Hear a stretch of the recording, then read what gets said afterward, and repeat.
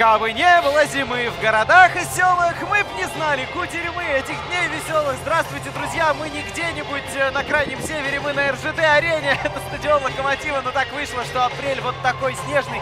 И игра сегодня будет, прямо скажем, ух, наверное. И ближайшие 30 минут мы будем животрепещуще обсуждать все, что связано с этим матчем.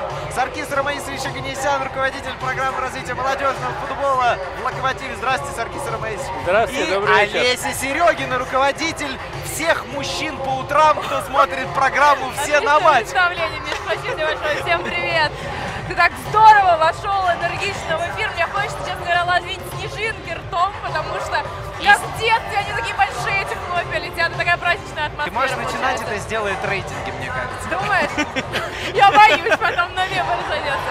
Давайте для начала все-таки, пока мы тут еще не полностью нас засыпало снегом, посмотрим некоторые футбольные вещи, а именно расписание тура, турнирную таблицу, чтобы понимать, что в целом происходит. Мы, конечно же, сегодня будем говорить про Локомотив и про Спартак, но расписание 23-го тура на ваших экранах. Здесь уже некоторые матчи сыграны. Ну и, конечно же, матч тура сегодня Локомотив-Спартак, плюс, конечно, Краснодар-Динамо. Еще очень интересный матч будет, Да. потому что мы следим, ну, там, верхняя часть турнирной таблицы. Да, всё может измениться.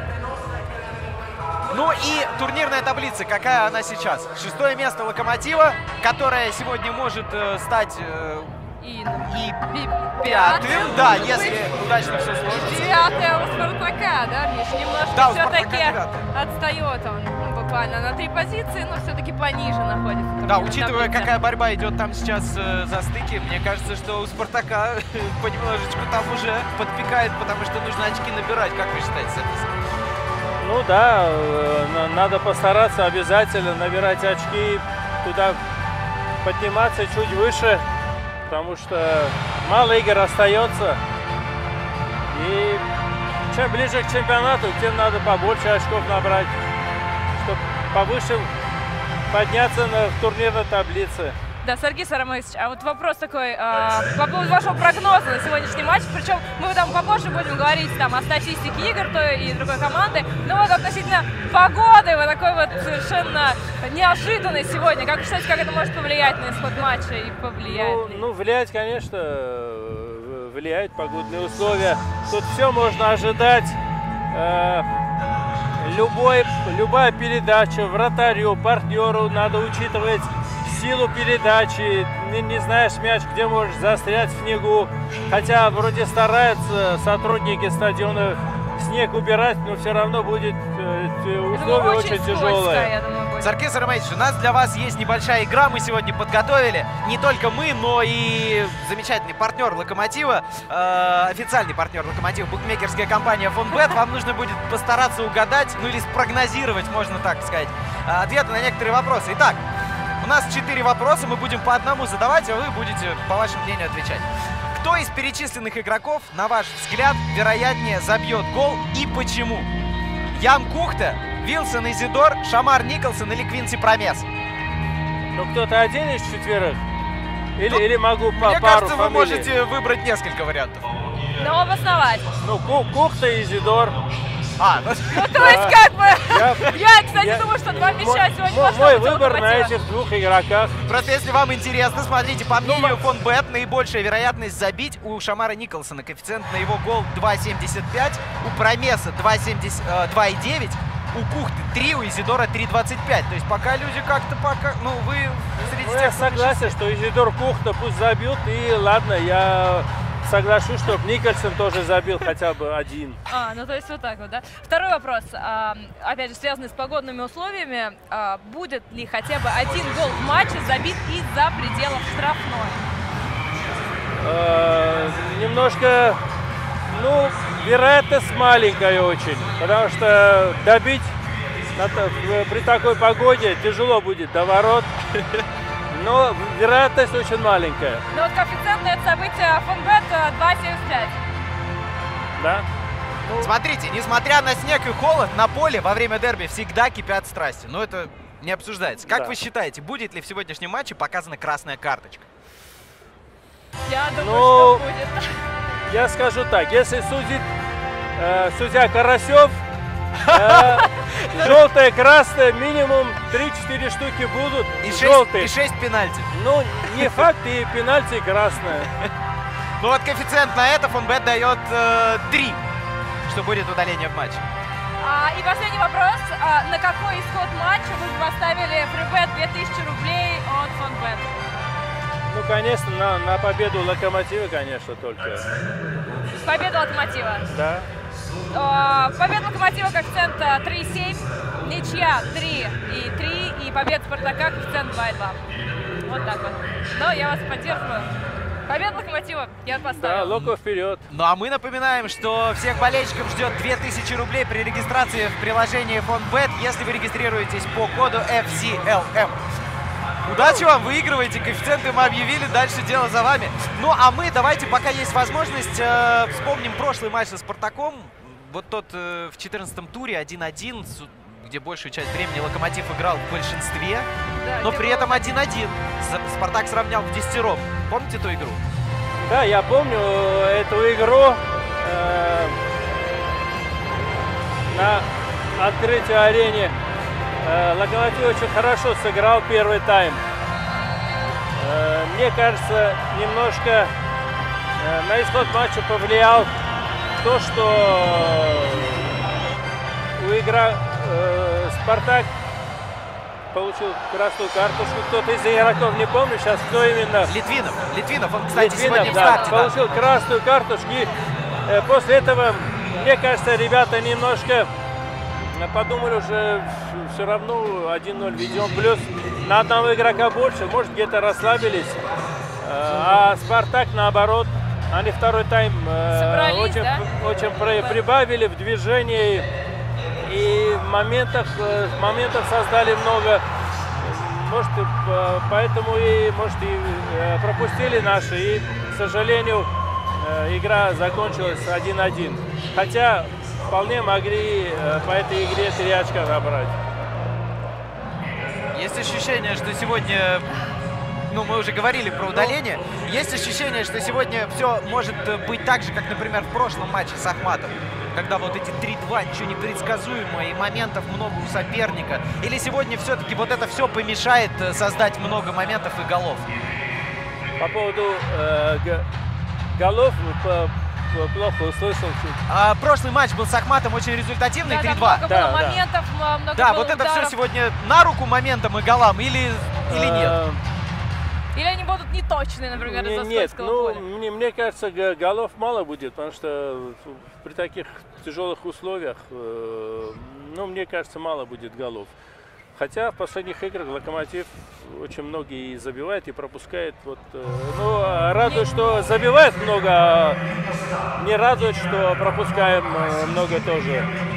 Хотелось бы поменьше, поменьше пропускали. Мы напоминаем, э, вдруг, если вы забыли, что ОАО РЖД генеральный спонсор футбольного клуба «Локомотив Москва» и по-прежнему продолжаем беседовать с, э, с Аркисом Аганесяном. А у нас же, кстати, сегодня студия, Олесь, ты же помнишь, да? Да, у нас э, сегодня студия не ограничивается бровкой, она расширяется, и э, к нам подключается наш коллега Гивит Валтвадзе, он сейчас работает в, На площади на перед площади, стадионом, да, и разговаривает с болельщиками, он готов передать атмосферу, показать, что там происходит, вот в такой погоде, кто пришел поддержать любимый клуб, и как они, собственно, это делают. Коллеги, спасибо. Ну что, у нас тут 62 февраля.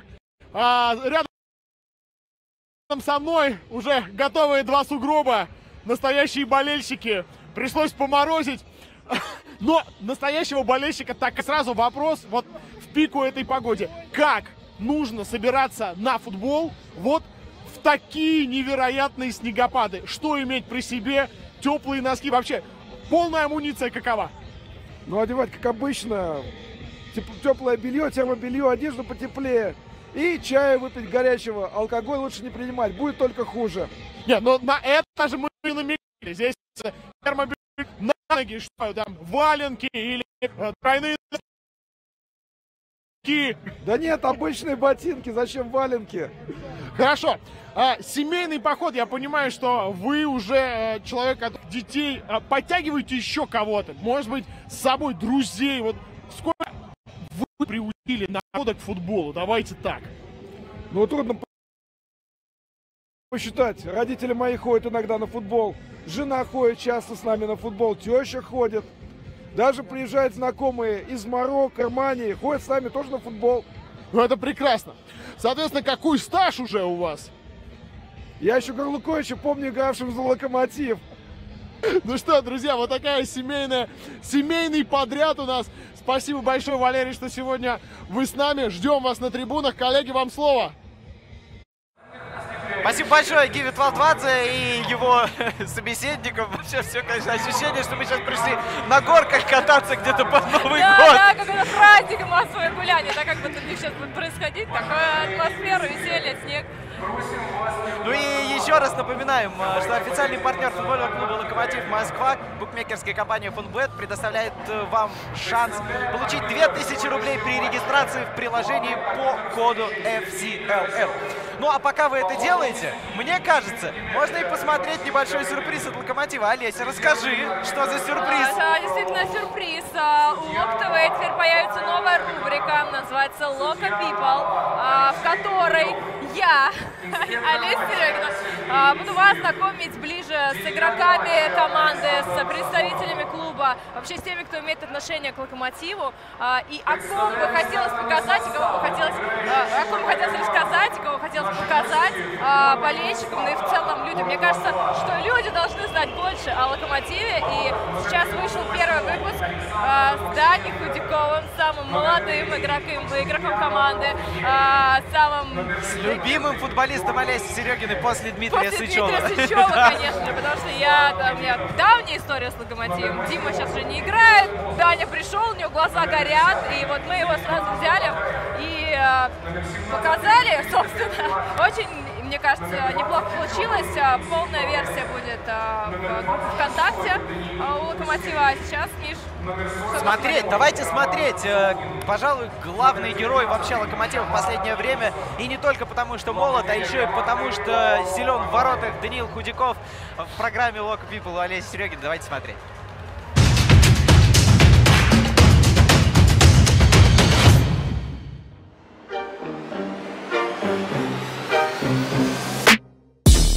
Привет всем болельщикам Лока! Я Олеся Серегина и прямо сейчас хочу презентовать вам новую рубрику для Лока ТВ, из которой вы сможете лучше узнавать об игроках и представителях любимого клуба. И первый герой сегодня Даня Худяков, самый молодой игрок команды. Поехали, рубрика Лока People.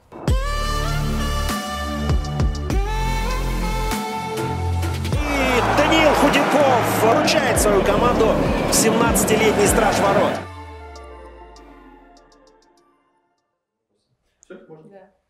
Дань, привет! Привет. Как настроение? Давай еще раз. Мы пока не можем дать пятеру друг другу нормально. Дань, привет! Привет. Опять, как настроение? Все хорошо? Ты после тренировки? Да. Устал?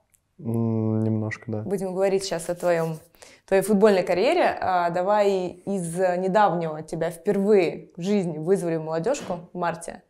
Как впечатление? Что почувствовал? Ну, было неожиданно. Вообще мне сначала пришел, ну как, вызов э, в юношескую. Вот. И потом через несколько дней только я узнал, что еще есть вызов в молодежную. Вот. До последнего момента не понимал, куда поеду, но в итоге поехал в молодежную сборную. Вот. Ну, впечатление положительное, очень понравился коллектив, тренера, все было ну, на высшем уровне. Как тебя приняли там? Ты себя чувствовал комфортно? Да, комфортно. Ну, все ребята, тренера э, ну, хорошо приняли, э, поддержали, поздравили с первым вызовом. Вот. Поэтому все хорошо прошло, мне понравилось. Дань, мы не просто так решили с тобой записать э, эту часть интервью в машине, потому что ты недавно совсем получил права, еще более недавно купил тачку классную, спортивную. Э, расскажи, как тебе за рулем? Уверенно, не уверенно, еще такой небольшой стаж. Ты вот уже так вот по городу гоняешь. Ну, вполне уверенно уже, э, несмотря на то, что всего два месяца, как получил права. Ты два месяца за рулем, спортивной тачке, ездишь по городу, еще на вопросы отвечаешь. Ну да, чё? Ну, уже довольно много практики получила, и поэтому все хорошо, уверен. И ну, вообще не боюсь ездить. Ну, я же спрашивала про кумиров футбольных. А Ты сказал Роналду Месси. Но, может быть, есть э, еще кто-то, кто оказал на тебя влияние сильное по жизни? Может быть, не футболист? Какой-то человек для тебя важный? Ну, родители. Это самые важные и главные люди в моей жизни, которые делали все, чтобы у меня все получилось, отдавали все силы, все свои возможности. Вот, и я очень им благодарен. Хотела спросить у тебя, чем ты занимаешься в свободное время, но потом подумала, а есть ли у тебя свободное время, вообще учитывая график тренировок, ты еще учишься вроде, да? Или нет? Не учишься? Не, не учусь. Но в свободное время э, могу погулять с друзьями, съездить. Э, могу просто дома поспать, поиграть э, в PlayStation, Во что играешь? FIFA. Ну, конечно. Дань, спасибо тебе за ответы. Очень интересно тебя послушать, но не могу я тебя отпустить прямо сейчас. А, Тебя впереди ждет еще блиц-опрос. Надеюсь, он тебе понравится. Посмотрим. Пошли. Пойдем. Бутсы или кроссы? Кроссы. Окрошка на квасе или на кефире? Э, никакая. Силовая или кардио? Э, силовая. Пойти в зал или бегать на улице? Бегать на улице. Шумная вечеринка или ужин дома? Ужин дома. Рэп, рок или попса? Рэп. Если включаешь телевизор, то какой канал? Матч ТВ. Правильный ответ. Брюнетки или блондинки? Блондинки. В чем сила? Близких. Даня, спасибо тебе, ты красавчик. Успехов тебе. Я чувствую себя очень маленькой. Спасибо. не менее. Спасибо. Даня молодец, я тоже. Ну что ж, спасибо, что досмотрели до конца. Надеюсь, что наша новая рубрика Local People вам понравилась. В любом случае, мы будем продолжать знакомить вас с игроками любимого клуба. А я не прощаюсь, говорю пока-пока. Мы напоминаем, что ОАО РЖД, генеральный спонсор футбольного клуба «Локомотив Москва». По-моему, просто блестящее начало, Олесь. Очень круто. Да, будешь смотреть остальные выпуски, Миш? Сто А с кем бы ты следующий хотел? Кстати, интересно, а вот э, с кем бы вы следующий выпуск хотели посмотреть Loco People? Если кого-то звать из кого бы Вот? Даню Худякова посмотрели, кого следующий? Кого? Да. С кем бы интересно было бы? Ты тоже Ну, подумай. Хорошо. Ну, кого-то из, из молодых, да, наверное? Да, э, Кого угодно. Или бе- без Ну, разницы? лучше кто на русском говорит. Ну, Баринов, наверное. Дима Или- Баринова, Это да? был мой вариант. Ну, я, Я хотел- Да? Я хотел. Баринова. Ну, могу Рифата предложить. Да, кстати, можно вот Баринова и Рифата нормально. Кстати, значит, что Баринова и возьмем в следующий раз. Надеюсь. Давайте, коль мы начали по персоналиям идти. Так выходит, что Дмитрий Баринов получил повреждение в э, матче с молодежной сборной России. Да, Сегодня да. Баринов играть не будет. Да, ему, кстати, Очень, очень. Очень Дима, обидная, обидная потеря очень. Да, по составу, пожалуйста, Саркис Ромаисович, на что обратить внимание? Э, Что вас сегодня удивляет? Как вам кажется?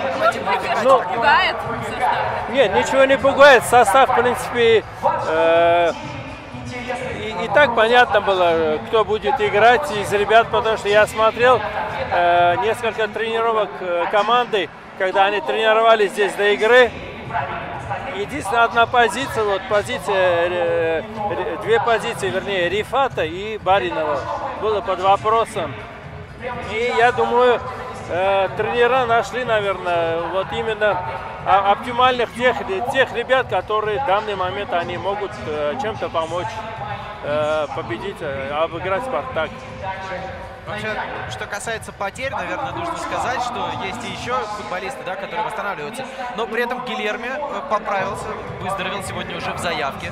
Это Да, важно. я видела заявки, но пока Даня Но выходит. есть и те, кто еще пропускает. Э, Наверное, здорово, что и Бика Бика сегодня может играть, да, и кого-то еще мы, и э, Тим Едвай тоже здесь. Ну, то есть, в общем, по составу все-таки сегодня есть выбор, и в запасе тоже есть э, кем заменить. Что по защите, вот мне интересно. А что по защите? Ну, Саркис Ромаисович. как мы будем? По, по- Защищаться. по- по защите, ну что могу сказать? Э, Ну, вроде ребята, просто надо больше сыгранности. Все-таки все, много очень э, новых ребят, и поэтому я в связи с этим сравниваю много, когда команда пропускает именно то, что э, мало наигранные ребята между собой, и мало играли, хотя в отборочных, э, на сборах проходили много игр, но все равно надо побольше времени, чтобы связи наигрывать и в обороне, и в полузащите. Вот смотри, мы очень много говорим про футболистов, но ведь сегодня, наверное, нужно и про э, судей сказать. Судейство. Да, потому что так вышло, что у Спартака два тура подряд есть э, вопросы к судьям, и самое, что интересное, а удовлетворяются их. Да, что они, ошибки признаются комитетом. Э, сегодня не, не, не получится так, что должок какой-то судьи могут вернуть. Ну, не хотелось в это верить, но ну, посмотрим. С другой стороны, Карасев, лучший арбитр страны, мне кажется, вряд ли. Мне кажется, для Карасева тоже очень тяжелый матч. Э, судейство будет, наверное, тяжелым. Все-таки в таких погодных условиях очень много стыка будет между игроками. Ну, хочется сказать, пожелать, чтобы э, Карасев справился. Сегодня же, кстати, вы первый заметили, что не будет э, ВАР смотреть офсайд. Ну, и слышал, слышал такое, да что из-за снегопада линию провести не, не, не получилось мне. Вот, кому это на руку сегодня сыграет, посмотрим. Ну а что точно сыграет на руку вам, это регистрация в приложении FonBet, за которую вы получите 2000 рублей, если зарегистрируетесь по промокоду FCLM. Ну и давайте, наверное, и про Спартак немножко поговорим. Да, про состав Спартака. Что у нас сегодня? Я помогу посмотреть. Ну, Спартака, в принципе, э, играют те ребята почти, которые в последних играх выходили только вместо Айртона. Олесь, ты тоскуешь по отъезду Айртона? Вот то... много мы сейчас говорили в студии тоже про то, что Айртона не будет, как же без него команда будет выходить на такой серьезный матч с Локомотивом. Ну, как единственное, да, вместо Айртона кто будет? Или Мозес, или Полусевич. Мне кажется, кто-то из этих двух э, игроков, кто-то будет играть с левой стороны. Ну, ну посмотрим, игра покажет. Э, ну, мне, мне кажется, другого варианта нету. Только вот эти два игрока смогут играть именно на этой позиции. Наверное, про личные встречи нужно поговорить. Я не знаю, я вот просто очень люблю все эти статистические предрассудки. Ты как Ну, потому что ты все-таки парень. Я больше эмоционально подхожу ко всем этим вопросам. А ты надо помнишь статистику, кто кому сколько забил, сколько матчей, сколько поражений, сколько было э, побед на чьем поле. Я думаю, да, Миш? Ну, мне просто интересен тот факт, что последняя выездная победа Спартака над Локомотивом в рамках РПЛ была в сезоне 19-20, и тогда было 3-0. Но при этом Локомотив, в принципе, на своем поле не уступил Спартаку в 4 из 5 предыдущих матчей. То есть одна победа, три ничьи. То есть можно ли это как-то в плюс, как-то в плюс да. Да, э, расценивать? Не знаю. Все-таки есть же удобные соперники, неудобные соперники. Есть, есть, такая... есть, есть, есть, конечно, где, э, такие команды, с кем можно ну, попроще играть. Есть команды, которые очень, очень тяжело даются игры. Э, хотя с другими командами, допустим, вот эта команда играет совсем по-другому, а на локомотив настроится совсем по-другому. Ну, попадаются такие команды, конечно. Давайте еще раз вернемся к матчу. Мы немножко его уже затрагивали, матч с Ахматом. Да, да 3-2. Э, Моментов у Ахмата было предостаточно, но Локомотив, пожалуй, сделал то, то, что должен был сделать. Впечатления по матчу с Грозницами ваши? И что от того матча может, можем мы сегодня увидеть? Ну, впечатление, что второй тайм ребята э, хорошо сыграли, переломили ход матча, хотя немножко э, складывалось неудачно. Первый тайм, ну, вернее, вторая половина первого тайма, когда мы пропустили, потом первый гол, потом второй гол. Но э, радует, что ребята собрались во втором тайме и забили два гола и принесли такой нужную, такую нужную победу. Потому что тяжело играть в Грозном, э, особенно когда проигрываешь. Ну, еще радует, что, по-моему, давно не выигрывали в Грозном. Ну, мне, мне, мне так кажется. Я просто не могу сейчас вспомнить. Вообще всегда не просто выигрывают. Да. Ну, хотелось бы вот то же самое сегодня повторилось. У меня вопрос теперь, у меня вопрос теперь к Олесе. Олесь, как ты относишься к программам лояльности различным? Ну, ты Ну, девочка. если они э, выгодны, мне кажется, мне хорошо, конечно. Я Надо- думаю, у тебя, у тебя есть что рассказать, да? У меня есть программа лояльности для тебя. Нет, ну, программа лояльности теперь есть э, у Локомотива гораздо более эффектная, удобная и комфортная для болельщиков. Давайте по этому поводу посмотрим ролик, а потом еще проговорим Немножко отдельно. обсудим, да? Локомотив открывает счет и делает это как раз Дмитрий Лоськов. Это гол с большой буквы. Малхас Асатиане 4-3. Московский локомотив завоевал Кубок России по футболу.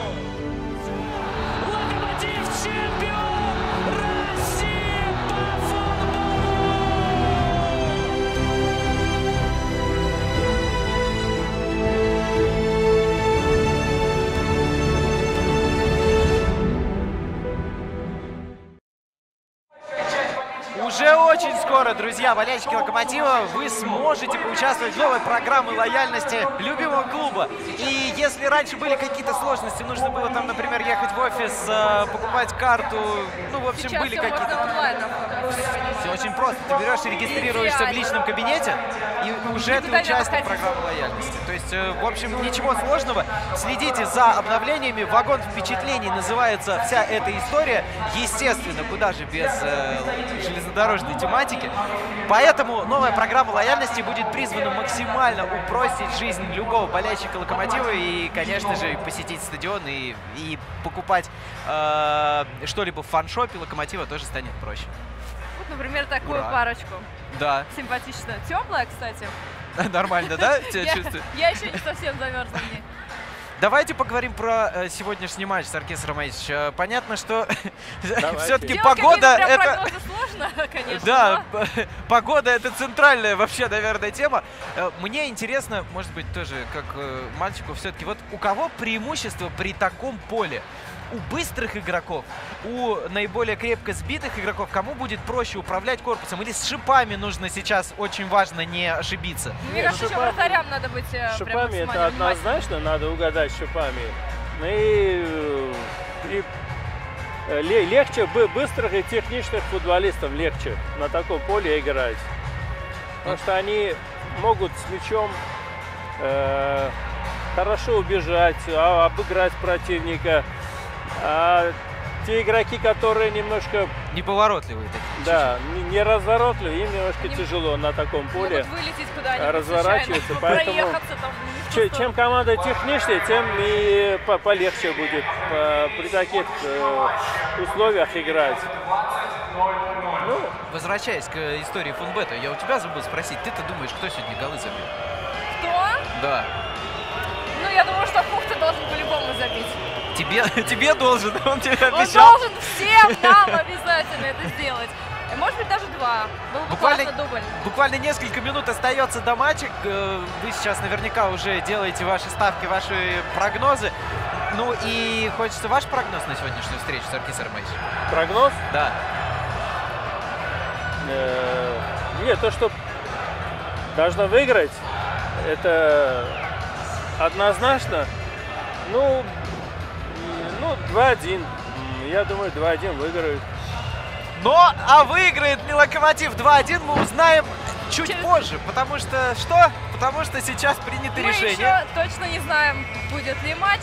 Да, принято решение, что игра откладывается на 30 минут. Буквально только что нам это сообщили. И посмотрим, что будет через 30 минут. Мы, наверное, ну, как минимум должны напомнить, что ОАО РЖД по-прежнему э, генеральный спонсор футбольного клуба «Локомотив Москва».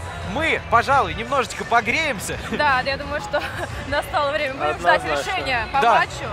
И будем ждать решения по матчу. Да, 30 минут, друзья, у вас еще есть для того, чтобы, не знаю, налить чайку, подписаться на... Укутаться э, потеплее, если вы где-то на трибунах. Да, подписаться на соцсети Локомотива, зарегистрироваться в приложениях. Ну и ждем, верим, что футбол сегодня состоится. Но кто-то там наверху очень хочет внести коррективы. Что-то нам намекает, да, о чем погода сегодня, я думаю. Да, мы пока не прощаемся, берем паузу, все ждем. Снег падает на всех, все Или падают на Снег снег. идет, да, снег идет. Да, И друзья, мы, да, мы на самом деле в очень, в очень опасной обстановке находимся, потому Я- что сейчас всем уже не до футбола, все Это просто... не шутки, ребят, снежки вот такого размера у нас летят сейчас. Да, позвоните, позвоните вашим э, друзьям и родственникам, скажите им, на которые на трибунах, скажите им, чтобы не Это кидались. просто какой-то ужас, я боюсь. На самом деле, да, э, совсем уже дело не шуточное. На трибунах люди развлекаются как могут, играют в снежки, в нас они тоже летят. Не знаю почему, может быть, э, что, почему они в нас летят? Потому что мы так удобно... Мы так удобно стоим, что до нас их можно докинуть. Ну, как А. ты считаешь? Или может мы не нравимся людям? Может такой Если вариант. вы- мы вам не нравимся, позвоните по телефону. Ну, ну, Поставьте дизлайк, но не кидайте снежками. Да, давайте серьезно. Да, пока мы, в нас еще ничего не прилетело, мы постараемся озвучить э, то, что происходит. Матч был перенесен на 30 минут. Аккуратно, Олеся. Матч был перенесен на 30 минут. И Мы пока... ждем. а, новой информации да, новой нет. информации Но. её нет, но... Что- А! Так, но по последней На информации... самом деле, хочется передать большой привет всем, кто сейчас на трибунах э, мешает вести эфир. Непонятно, неужели Мы как непонятно, что... профессионал не будем обращать на них внимания. Да. Так, Последней информации э, матч может начаться через 30 минут, 20-30. Да, Миш? Есть несколько версий сейчас, и одну из них говорит, вот видите как, а вот так вот. А, есть Хватит! несколько версий а, о том, что будет происходить дальше. Например, э, есть позиция руководства Спартака, которая говорит, что при том поле, которое сейчас играть, не представляется возможным. а, И если его почистить, то можно с большой натяжкой выйти, но пока все-таки они склоняются к тому, что опасно выходить в таком состоянии на поле.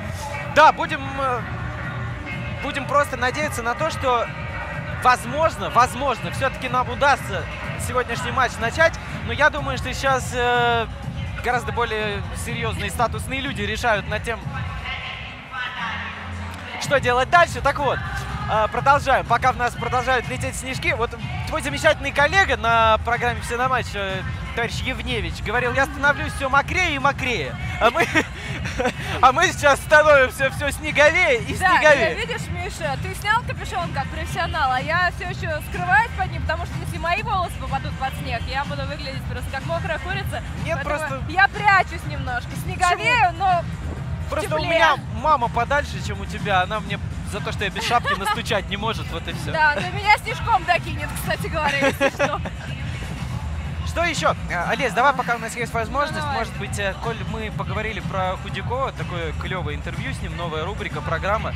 А, Какие у тебя были идеи? Вот ты нас спросила, мы сказали в один голос Баринов. Какие у тебя были мысли? Я тоже думала про Баринова, потому что он для меня всегда был такой э, интересной фигурой. То есть я вижу, говорю, в каждом матче, насколько он э, душой и эмоционально подходит к каждой игре. То есть у него прям он реагирует на каждый момент, он выкладывается, он очень близко к сердцу принимает. И мне было интересно, я не обращаю внимания.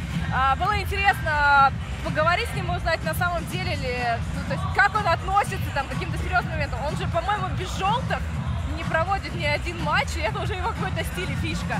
И поэтому я думала насчет него, но можно было и по молодым пройти. А какой блиц? Какой блиц можно было бы? Блицем вообще сложно. Вот, а, ребята, у меня завтра, возможно, будут синяки на теле. Нет, И, мне а, просто Вы бы интерес- видели лица этих а, Они людей? просто счастливы. Мне кажется, Которые эти люди последний они раз видели снег еще в 96-м. Поэтому сейчас они счастливы так, как будто я не знаю. Но Вот как тебе блицы в раздевалке? Вообще идея с блицем в раздевалке для А, футболиста? Очень круто. вот классно, мне да? интересно, какой бы блиц был для Барина. А мне было вообще сложно придумывать вопросы, потому что хотелось их сделать такими нейтральными, по-человечески интересными, чтобы раскрыть а, игрока а, не как там профессионального футболиста, а просто как человека, потому что Даня очень скромный, а, Даня не любит про себя говорить, и чтобы его показать, и чтобы ему не пришлось долго развернуто отвечать, это будет самый классный эфир в моей жизни, по-моему. А, хотелось дать какие-то Ну, четкие каждый, и понятные ответы. каждый развлекается как может, но вот сейчас за нашими спинами вот очень важно видеть, что происходит за нашими спинами, потому что там сейчас какое-то полотнище появляется на поле и по-прежнему грузится снег в э, прицепы тракторов. Ну, я не знаю, насколько возможно сейчас спасти ситуацию, потому что снег продолжает валить с той же скоростью, с которой он валил до А, этого. да, несмотря на все.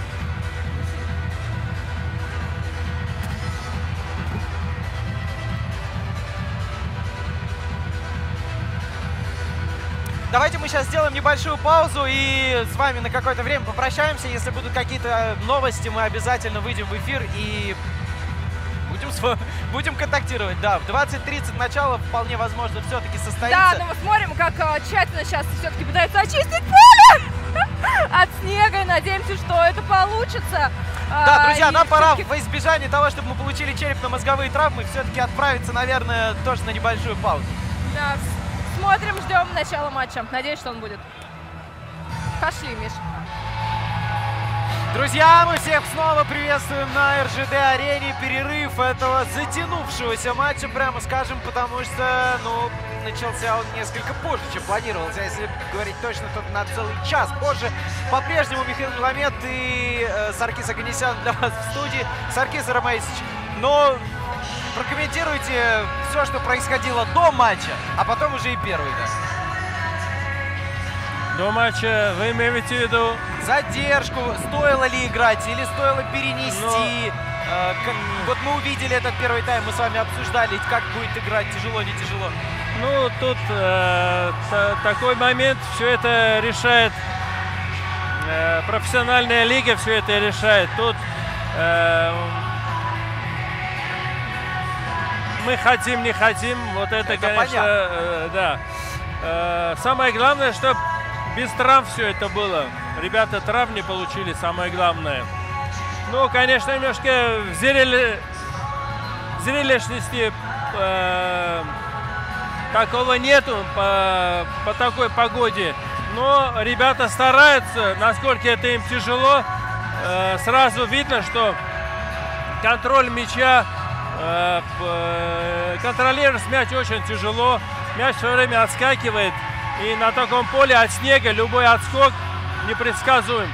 Поэтому э, такие предлоба- пре- э, предполагали, э, очень много будет контакта. Фи- Физически ребята очень э, выкладываются. И эм, думаю, второй тайм еще тяжелее будет ребятам. Ну, тогда, наверное, придется какие-то замены делать, э, свежих ребят выпускать на поле, чтобы хотя бы темп игры поддержали. Как вам кажется, почему, несмотря на все сложности, погодные, да, поле и всего остального, почему у Спартака пока побольше моментов и даже гол был забит, который отменили из-за офсайда? Ну, то есть Худякову действительно больше приходится работать, чем э, вратарю Спартака.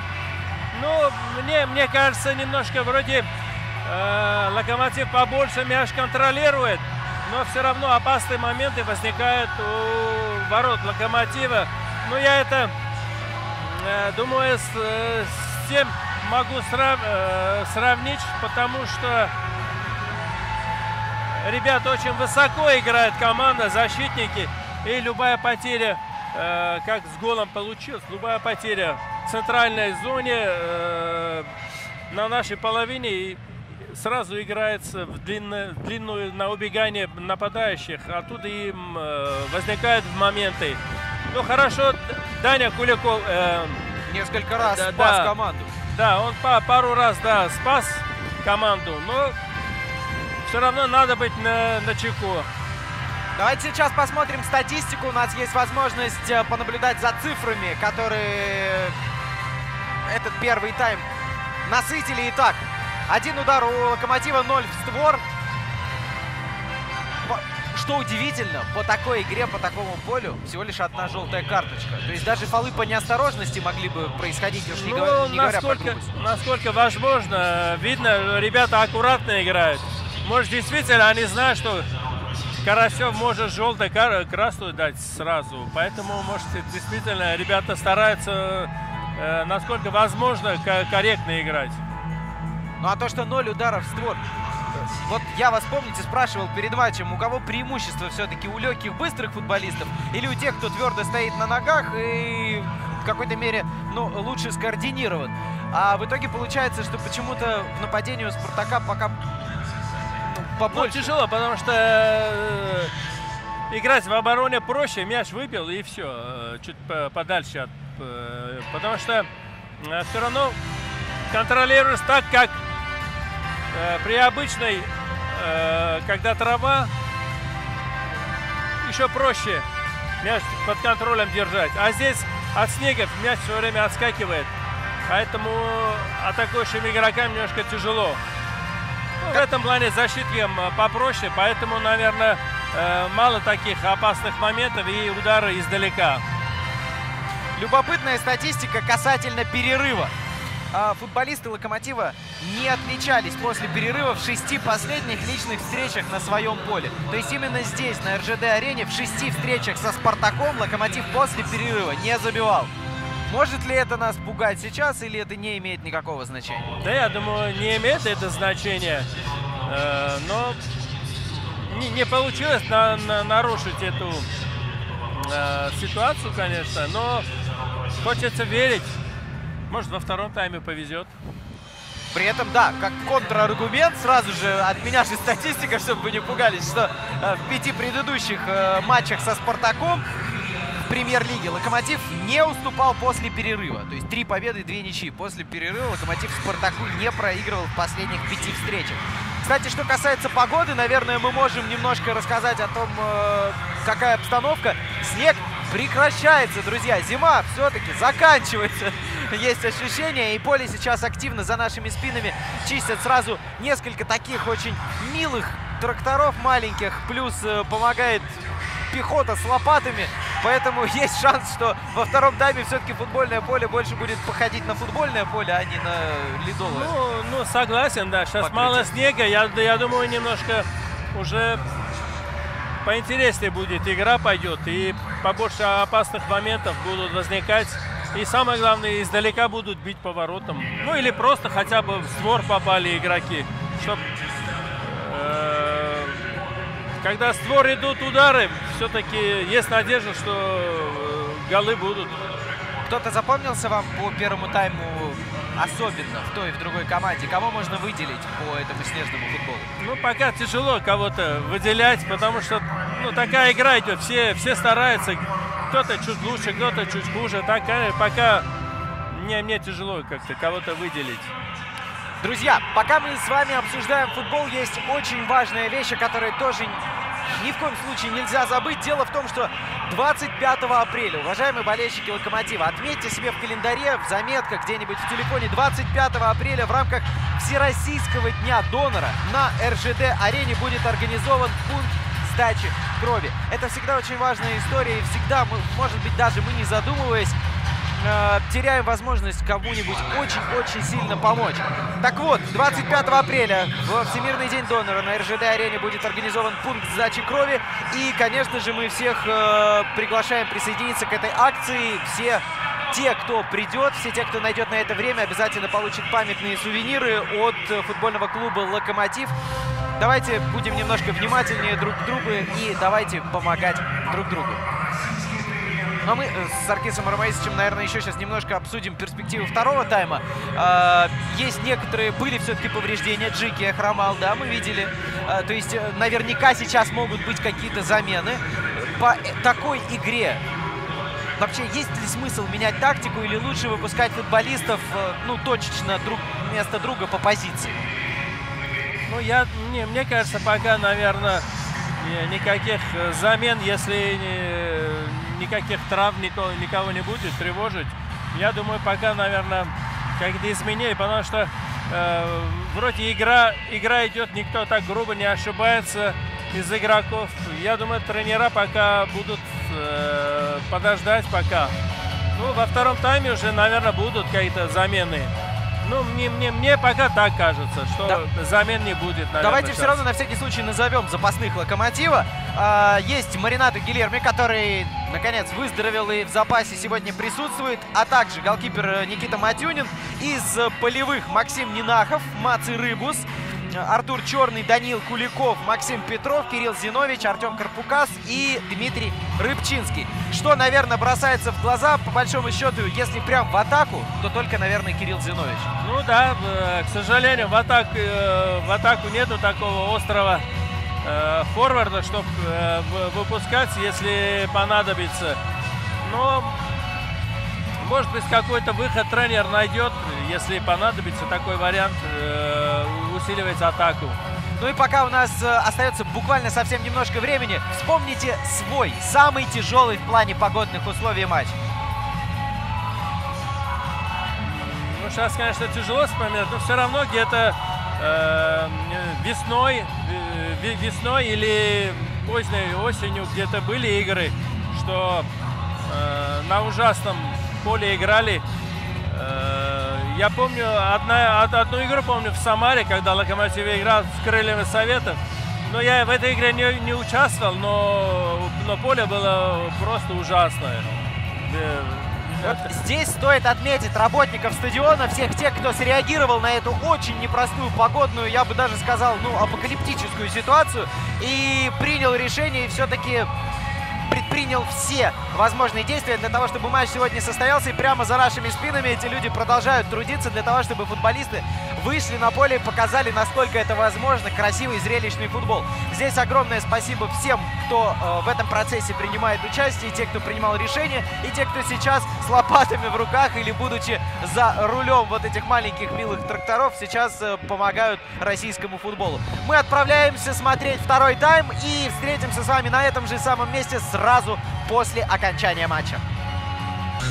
И кто теперь скажет, что этот матч стоило перенести? Все-таки Локомотив эту зимне-апрельскую встречу выигрывает 1-0. Гол Изидора приносит 3 очка железнодорожникам. И мы сейчас с Аркисом Аганесяном попытаемся все-таки зарезюмировать этот бесконечный футбольный вечер э, в российской премьер-лиге. Локомотив Спартак 1-0. Саркис Ромейсович, делитесь эмоциями. Имеется, конечно, самые положительные как, в принципе, э, думали в перерыве, что если снег уберут, будет уже только трава, э, качество футбола повысится. Вот и, пожалуйста, и во втором тайме увидели больше осмысленных движений у футболистов, больше красивых атак. Ну, где-то, может, завершение хромало, но все равно видно было, как это ближе похоже на футбол, чем на снегу играли в первом тайме. Для тех, кто не видел, э, еще раз напомню, гол забил Изидор. И когда уже оказалось, что матч катится к нулевой ничей, ну, можно было сказать, что игра была все-таки ничейная. И Локомотив за счет чего? Характера прежде всего, желания, чего? Ну, за счет характера, за счет э, конкретно индивидуальное действия одного человека. То, что мог э, одним ударом решить исход э, встречи. Ну, в принципе, все к этому и шло. Если не будет ничья, то будет один гол и все. Ну, то, то, так и получилось. По поводу лучшего игрока матча, которого определили эксперты матч-премьер Данила Худякова, согласны? Я согласен полностью с Даней Худяковым, потому что действительно он очень в первом тайме спасал, во втором тайме спасал. Э, ну, я бы еще добавил и Изидора тоже. Как человека, который... Как, да, как тоже один из лучших игроков, который, ну, действительно своим индивидуальными действиями он э, выделяется, выделяется в локомотиве. В последних играх особенно. А, действительно, матч получился очень непростым, не только из-за погодных условий, но первый тайм как-то все-таки казалось визуально больше остается за Спартаком. Вот э, мы, понятно, не были в перерыве, да, в раздевалке, мы не знаем, что сказал тренерский штаб. Но ощутимо игра поменялась у Локомотива во втором тайме. Только ли это из-за снега? Или вы увидели футбольные какие-то вещи, которые по-другому? Ну, здесь тяжело сказать, э, что, что конкретно повлияло. Может, действительно, в перерыве тренер, может, по каким-то моментам указал, надо немножко действовать по-другому. Э, больше надо через фланги играть, потому что видно было, ребята начали э, очень много через фланги пошли прострелы, подачи и слева, и справа. Ну, вот где-то вот один из таких атак, вот и э, через забегание Рыбуса игрок э, переключился на Рыбуса и освободил Изидора, и тот ушел в середину и очень хорошо попал в дальний угол. А если мы говорим про Рыбуса, это значит мы еще и говорим про удачно сделанные замены. Тоже, тоже, да, тоже немаловажный фактор. Удачные замены тоже повлияли. Потому что, э, мне кажется, тренер хотел вот этот темп поддержать и выпуская на игру свежих ребят. То, что ребята, кто вышел на замену, доказали это. Давайте сейчас посмотрим на статистику матча. У нас есть возможность обратиться к цифрам. Итак, цифры сегодняшней игры. Напомню, в первом тайме был 0 в графе э, удары в створ ворот и всего лишь один в принципе в графе удары у Локомотива. Что же у нас сейчас будет по итогам этого матча? Хотелось бы все-таки понять, если есть такая возможность. Мы пока можем только гадать, но э, в целом главные цифры, они на табло, как говорится. Все остальные Да, это ну, для конечно, любителей статистики. главное 1-0 и 3 очка главное. И всех э, игроков хотел бы поздравить, болельщиков, что действительно в такую плохую погоду, в таких условиях они поддержали команду до конца. Вот цифры на ваших экранах по ударам сравнялись 5-5 и любопытно. Это единственный удар в створ у Локомотива сегодня. Ну, тем более ценнее, что один удар ради и три очка. Ну, не всегда так бывает, но это футбол. А иногда бывает, что ни одного удара, но команда 1-0 выиграл. Вот как так получается? Смотрите, все легионеры пришли сразу ко двору, сразу начали давать результат. Как-то э, уже из э, футбольного опыта, много лет смотря футбол, всегда есть вот это выражение. Легионеру нужно адаптироваться, нужно сыграться с партнерами, привыкнуть к стране, к вообще к языку, ко всему. Тут все приехали и сразу все дают результат. Ну, тут, э, тут, мне кажется, больше от футболиста, от человека зависит. Если человек захочет, он э, бу- будет сразу привыкнет. Если нет, будет очень долго адаптироваться к этому, э, к, футболистам, команде, к стране. А есть люди, которые, э, им, им дается это в, кра- в кратчайшие сроки. Пятое место у Локомотива после этой победы. Плюс 3 очка и 37 в сумме. 38 у Сочи, который завтра проводит свой матч против Зенита и вполне может очки потерять. Это значит, что Локомотив начинает подбираться к вот этой вот лидирующей четверке. Ну, хотелось бы, да, надеяться на это, что с ка- с каждой игрой будут выше и выше подниматься ребята, команда по турнирной таблице. Ну и давайте про следующих соперников Локомотива тоже поговорим. 10 апреля Локомотив в гостях встречается с Ростовом и 17 затем как раз с футбольным клубом Сочи. Вот эта игра, что называется, как всегда, за 6 очков, да? Ну, конечно, очень тяжелые игры, особенно э, ребята должны ехать на поезде в Ростов. все-таки там А все уже отвыкли не- от такого вида не- не- транспорта. Непривычно. Многие ребята даже уже забыли, когда последний раз в поезд сели. Ведь э, поезда локомотивы должны приносить Ну, удачу. Ну, Правильно я, я, я не сомневаюсь, э, потому что в наше время мы всегда на поезде ездили на выездные игры в наше время.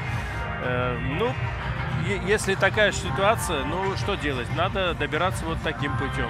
Тут другого не дано. И тем более Ростов очень принципиальный соперник. В данный момент ну, они сегодня проиграли дома, домашних стенах.